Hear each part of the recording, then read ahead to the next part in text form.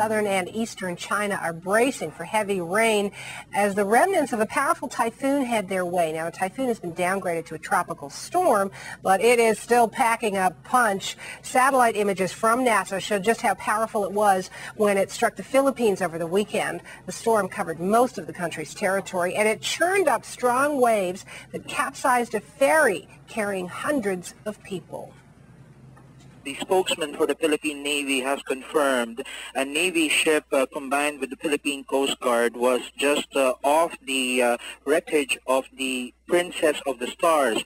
They tried knocking at the keel of the ship. This is the exposed bottom part of the ship.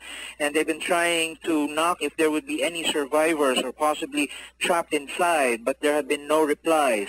Now, the Navy right now and the Coast Guard will attempt to, uh, with the assistance of the U.S. Navy, the U.S. Uh, Navy ship uh, Stockham is uh, arriving uh, anytime soon or anytime tonight.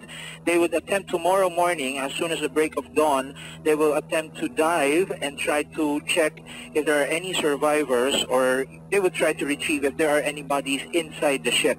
So something like uh, what they've seen on the Poseidon Adventure. They have to bore a hole at the bottom part of the ship that's been exposed right now.